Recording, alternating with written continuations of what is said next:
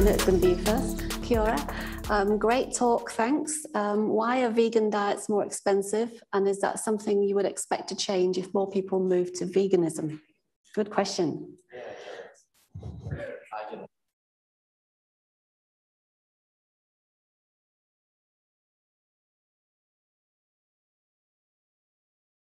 Hello, here we go.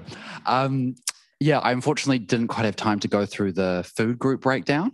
Um, but what we found um, as we kind of looked at the food groups going from um, current to vegan is that the uh, the cost percentage for vegetables was a significant contribution. Um, also, the dairy um, alternatives. So, because what we also did is we had, and I didn't quite go into detail about them, but we also had um, similar to similar to other modelling studies, we had constraints around um, health constraints around the nutrition composition as well, so that we were meeting calcium requirements, things like that. Um, so it was predominantly vegetables and then the dairy alternatives, which was quite the big one.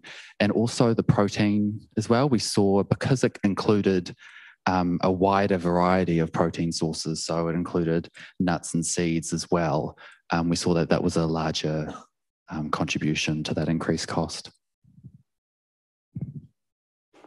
Thank you. Lovely. Now, um, a question for Renae.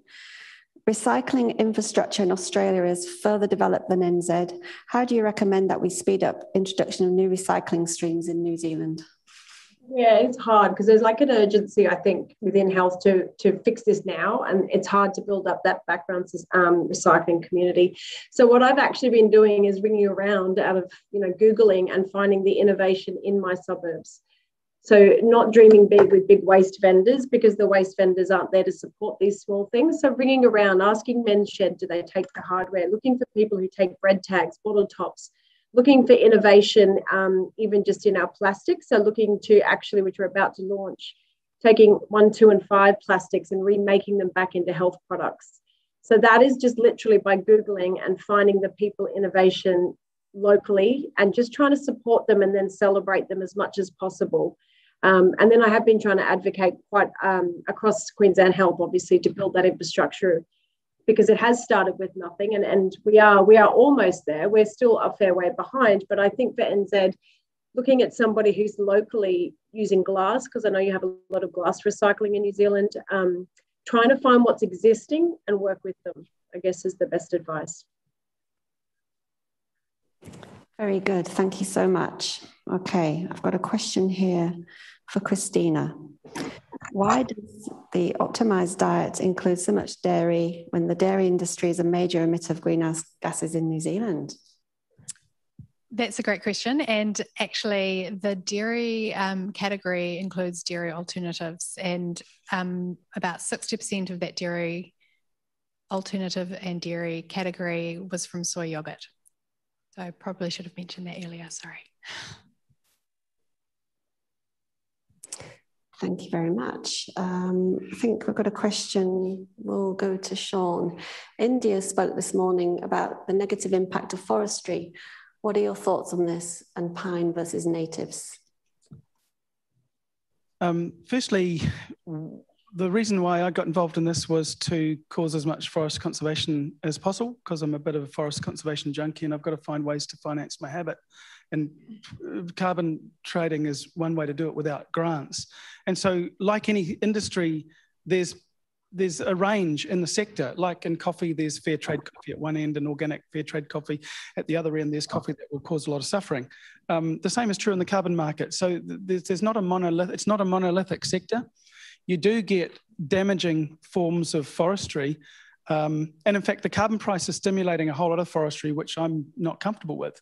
A lot of uh, plantations that are reducing the number of people in the rural landscape that are employed and turning small communities into smaller ones.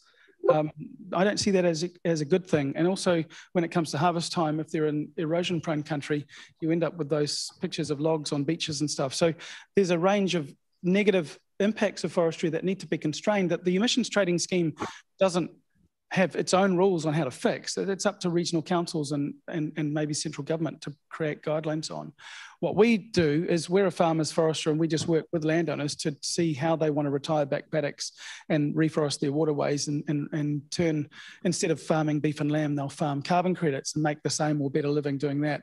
So it's really about who um, is doing the work and what kind of organisation is doing it. So you can avoid those negative impacts if you choose to, and that's the way we approach it. Thank you very much. I had a question for um, Stefanie here. Was supporting local suppliers of fresh food and the local economy a motivator for some of these organisations?